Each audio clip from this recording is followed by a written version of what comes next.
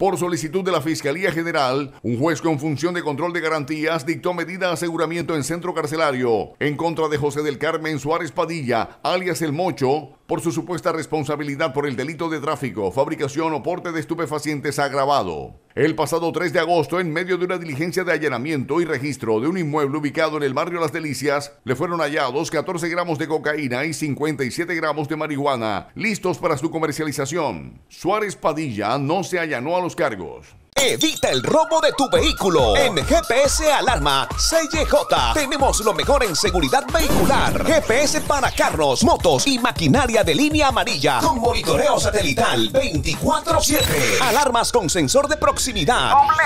Sencilla. Todas con encendido a distancia. Cámaras de seguridad. Sistema de bloqueo central para puertas de carros. Llámanos 313-803-6453. 305-240-1014. Diagonal 18D 2050. Los Caciques.